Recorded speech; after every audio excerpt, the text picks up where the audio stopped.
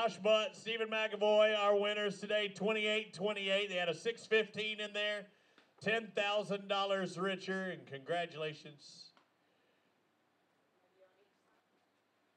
Wow.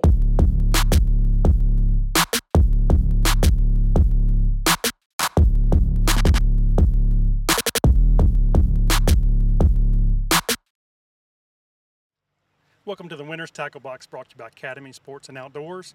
We've just finished up the second stop of the North Division Alabama Bass Trail on beautiful Guntersville Lake. I'm joined here with the winners, Stephen and Josh. Guys, you weighed 28.28 pounds. Great job on what ended up being kind of a tough day. Tell us how you did this. We uh, we went to a, a location that we just have a lot of confidence in this time of year, and sat there all day and you know grinded it out. So just throwing throwing a swim bait, um, a little bigger than what other people were throwing around us.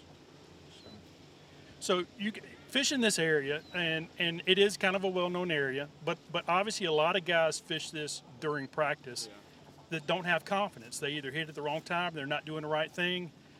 Tell us a little bit about what you do different and why you have the confidence you have in this area. Well, it's all about slowing down too. So, a lot of people, a lot of people will go and suspend fish because they see them on the graph. They're they're going and chasing bait. They're they're wanting they're wanting to uh, match the bait fish and go through the schools.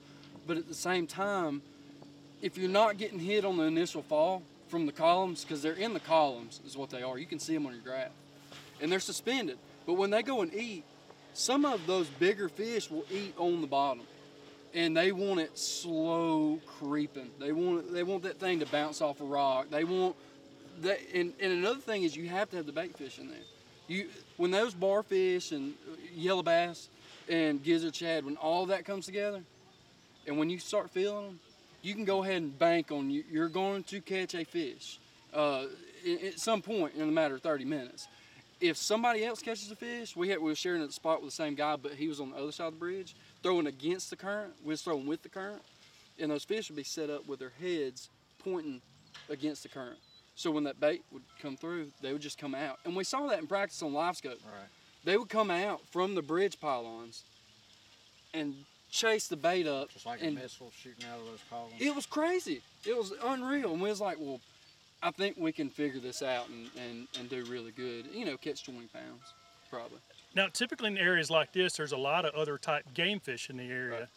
What is what is the key to catch the largemouth and not not get caught up in drum or different type species of fish? Well, in practice, we were using different techniques and catching drum and catfish. So we were kind of like, okay, we know there's bass there, so we can't do that. So we're just we're going back to what we have confidence in, and you know, if the bites are there, I mean, they're going to show themselves. So Yeah. and Okay. they, and they did real early. So Okay, let's get a little more detail these baits. Tell me about the jig heads and the actual baits that are on the jig heads. Well, uh, primarily we were using uh, true bass, uh, screw lock heads, which the gambler has tr- uh, screw lock head in as well. This is more slim, uh, kind of Streamlined. streamlined, and, it, and, it, if you cut the head off the uh, freestyle, it'll fit right in there to where it don't have any more any more action than you want the bait to have. Right. So you want that bait it, when it wobbles, its head and tail opposite. So I think that's a big key too. Instead of a big boot tail, like a true bass boot tail, Right. we usually throw those, but it's it's a subtle action, and I think that really I think that really helps, and that three quarter ounce head really keeps that bait down uh, instead of rising up and throwing 20 pound uh, just fluorocarbon, 20 pound fluorocarbon, um, seven foot, seven foot three heavies, and just going to town on. 'em. What is the water depth you try to get this bait to run through? 28 to 30 feet, sometimes 15 or 16. Just whatever the bottom is, you know, in that area. Okay. How much experimentation do you guys do with color? Not really much. There's no reason to. Uh, I, bait fish. I had to tie. I had to tie this one on. I had to put this one on Stevens because I lost my last uh, whiteback. Usually the whiteback, you can go to any lake and catch them on a whiteback. It don't matter if it's an Right. original Magdraft or the freestyle. It's a natural bait fit, and I actually hooked uh, gizzard shad on the on the uh, whiteback exactly the same.